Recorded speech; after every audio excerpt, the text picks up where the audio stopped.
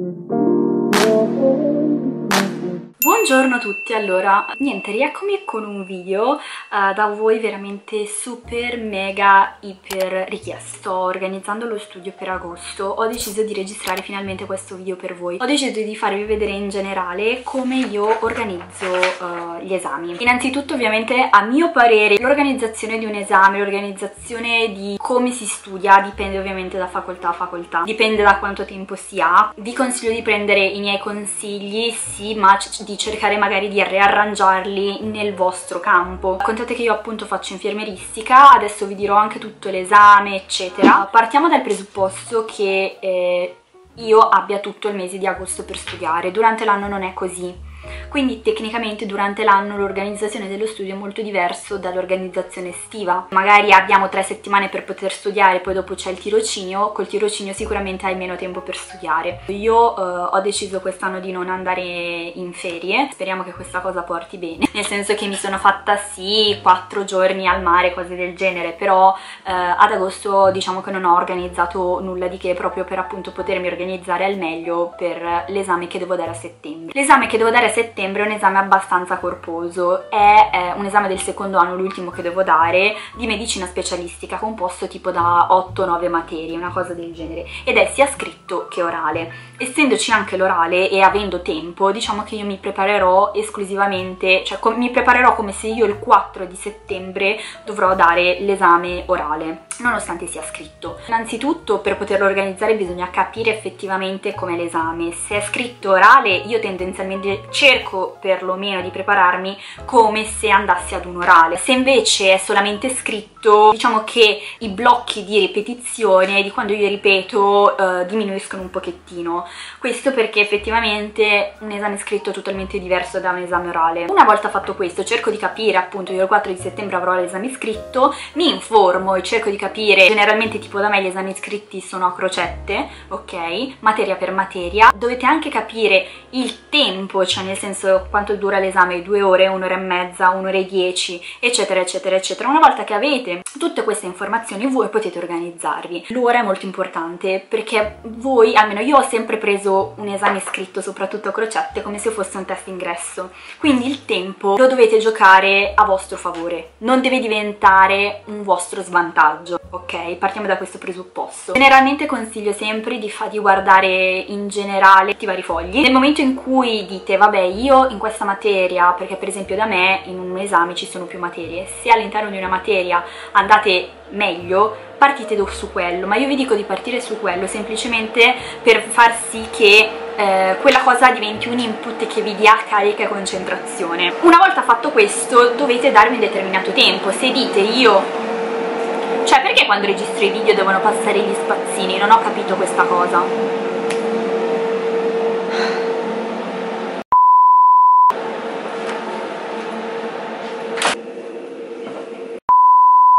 Volta detto questo, nel momento in cui voi riuscite a dare un determinato tempo ad, ad ogni determinata materia, vi sarà anche più semplice. Anche l'ansia anche sì è vero l'ansia c'è sempre di base però credetemi che se siete concentrati siete focalizzati sul vostro obiettivo l'ansia la mettete da parte ok? Forse sembrerò un po' maniaca, però diciamo che così, anche se magari non studiavo tantissimo, avevo poco tempo, ma organizzavo in generale gli esami così, in generale li ho sempre passati, magari non con voti altissimi, eccelsi, eccetera, eh, però li ho sempre passati. Ricordatevi che io non sono da 30 lode, non sono una secchiona e se posso studiare poco, studio poco. Partiamo dal presupposto che io sono una persona umana e che nella vita ho anche altro da fare. E non sono un genio, perché ricordiamoci che ci sono anche i geni che leggono una cosa e la sanno già e bruciano il libro, cioè non ho manco bisogno del libro. Diciamo che io di solito mi concedo 3 o 4 giorni se posso, ovviamente in questo momento posso permettermelo perché ho comunque un arco di tempo abbastanza largo, cerco praticamente di racimolare tutto il materiale per poter studiare. Quindi cosa faccio? Uh, racimolo tutti gli appunti, racimolo tutte le cose online, cose del genere, per avere un focus di tutte le robe che devo mettere in ordine all'interno della mia vita. Questa cosa un po' mi prende giorni perché magari, non so, mi sono persa determinate lezioni, non sono stata attenta, cose del genere, mi sono persa dei pezzi, però perlomeno avere il programma d'esame è veramente importante. Nel momento in cui dite, sì ok, ho questo libro, libro, questo, questo, questo, questo, allora forse posso iniziare ad organizzare. Diciamo che io per velocizzarmi ho la fortuna di avere alcune lezioni di teledidattica, soprattutto della parte di clinica online, che sono offerte appunto dalla mia università. Quindi noi generalmente seguiamo in università, però quelle lezioni sono registrate perché non è che esiste solamente la sede di Monza, ma esistono altre sedi che sono sedi remote, al di fuori di Monza, come Bergamo, Lecco, eccetera. Se avete visto il mio video per quanto riguarda infermieristica al primo anno in Bicocca, l'avrete sicuramente visto. E noi con la videoconferenza comunichiamo anche con le altre sedi remote. E quindi appunto le lezioni sono registrate. Io principalmente cerco di, di riascoltarmi quelle.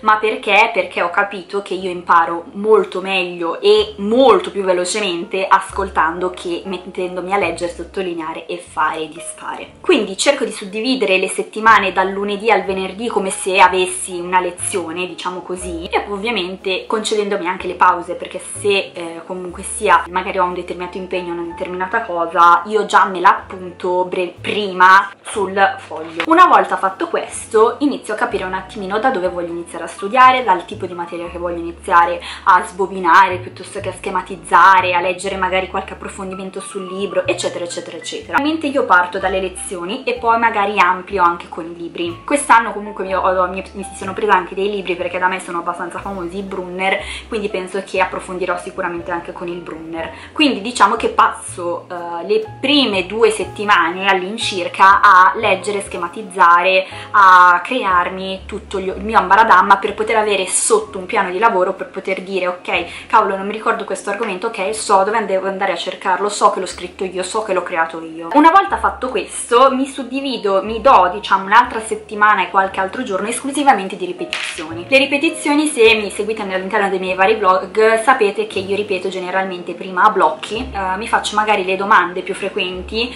all'interno di, me li scrivo all'interno di alcuni post-it, metto tutto dentro una bustina, dentro un barattolino dove voglio, pesco e inizio a ripetere la domanda. Quello non è che ha bisogno di tempo, non ha bisogno di tempo, eccetera, nel senso che eh, generalmente magari io posso ripetere per un'ora, due ore, poi dopo faccio pausa, faccio altro, poi ritorno a ripetere. Eh, oppure magari posso ripetere per 4-5 ore, però poi al pomeriggio non faccio niente. Dipende ovviamente sempre dal, dagli impegni che uno ha, se hai tanto tempo e se esclusivamente magari questo mese per esempio io me lo sono dato per studiare, quindi magari studierò tipo la mattina, al pomeriggio me lo terrò un po' più tranquillo. Diciamo che dalla data dell'esame io mi tengo sempre 7 giorni, quei 7 giorni sono dei 7 giorni di ripasso, che magari possono essere di ripasso con altre persone, che magari possono essere di ripasso perché io determinati argomenti non li ho capiti, però mi tengo sempre di default 7 giorni. Quei 7 giorni lì alla fine è solamente un ripasso tra il leggere, eh, ripetere, eh, eccetera. Diciamo che essendo la prima parte dell'esame un esame scritto, passerò il tempo fondamentalmente a rileggere tutti i miei schemi, a rileggere tutte le cose in generale, molto in generale. Diciamo che sarà l'ultima fase molto più blanda. Principalmente io divido lo studio così, quindi schemi, schematizzo, sottolineo, faccio, mi creo tutti i miei post-it, mi creo tutti i fogli, stampo, scrivo al computer, faccio tutto quello che voglio, poi inizio a ripetere e una volta fatto quello mi tengo l'arco di tempo ripetizione, io lo chiamo diciamo ripasso definitivo, che mi serve effettivamente se magari non ho capito determinate determinate cose. Una volta arrivato questo, non è finita qui, ovviamente poi arriva la data dell'esame, eh, do l'esame, generalmente da me se è scritto, ok, basta, dica morte e morire, quello è il giorno, quello è basta. Ovviamente poi ci saranno i giorni successivi perché per esempio il mio sarà scritto e orale. Bisogna sempre informarsi di quando ci sarà l'orale, all'incirca, anche se appunto magari il risultato dell'esame, se avete passato lo scritto, uscirà magari il giorno prima, perché da me per esempio è sempre così. E ovviamente ci si deve organizzare anche quel, quell'arco di tempo, semplicemente per tenersi in allenamento, per non dimenticarsi comunque quello che abbiamo studiato precedentemente. Anche lì generalmente suddivido i giorni, è molto semplice, eh, in base ovviamente ai miei impegni, per esempio io a metà eh, settembre me ne mh, mm, vado, vado, via tre giorni. E quindi io mi segno sempre tutte le cose mh, mm, che devo fare per poi avere, contare praticamente i giorni, potermi suddividere i giorni dividendomi nei vari blocchi di ripetizione. Questo è il mio metodo per potermi organizzare. Mm, penso che in generale un metodo del genere, a prescindere adesso che io magari andrò a fare a dire lunedì mi rivedo 3-4 lezioni di quella determinata materia che a voi probabilmente non vi fregherà niente e se vi interessa vi consiglio di seguire i miei vlog perché da settimana prossima farò appunto il vlog dei termini che eh, sicuramente magari coinvolgerò anche una parte dello studio. Comunque sia, questo è principalmente quello che io faccio e che in generale eh, penso che sia anche il più... cioè comunque sia questo è quello che io in generale faccio per far sì che questo tipo di organizzazione potesse essere universale appunto per la maggior parte delle facoltà. Però mi rendo conto che magari non lo so se penso a una facoltà abbastanza scientifica che eh, richiede esercizi e cose del genere io vi consiglio anche tantissimo mi ricordo che anche quando ero a biologia davo sempre un tempo per fare gli determinati esercizi. Diciamo che sono anche una che per esempio quando schematizza fa eh, io posso anche stare in giro anche stare su un treno, eh, su un aereo, eh, in un bar in mezzo alla gente io studio tranquillamente. Però nel momento in cui magari devo ripetere preferisco essere in un luogo chiuso ripetere a blocchi, poi uscire, fare altro, poi ricominciare. Quindi diciamo che come luogo preferisco ripetere in casa. E prima per avere padronanza di tutto il programma da sola e poi magari ripeto o a mia mamma o al mio fidanzato a volte vabbè dir, dir la verità al mio fidanzato non è che ripeta tantissime cose, eh, nel senso che principalmente gli ripeto di più magari mh, alcune cose tipo legate al tirocinio, cose del genere, è sempre stato così, perché, boh, non lo so perché, non mi va di, tra virgolette, sfruttarlo sotto questo punto di vista, se alla fine riesco a fare le cose da sola, preferisco farle da sola, ecco, poi mi sembra sempre di, ro di rompere le palle, perciò cerco di non romperle troppo sotto questo punto di vista. Oppure se no appunto ripeto che compagno di università oppure semplicemente ripeto da sola quindi questo qui era il mio modo di organizzare lo studio. Io spero vivamente che questo video vi sia stato utile e soprattutto che sia stato pratico e focalizzato su quello che voi volevate sapere. E mi raccomando se appunto avete trovato questo video utile lasciate un like e non dimenticatevi di iscrivervi al canale. E ovviamente se avete piacere di seguirmi in tutti i miei vari social eh, Instagram, Facebook, Twitter. Io vi mando tanti baci e noi ci vediamo al prossimo video Cheers.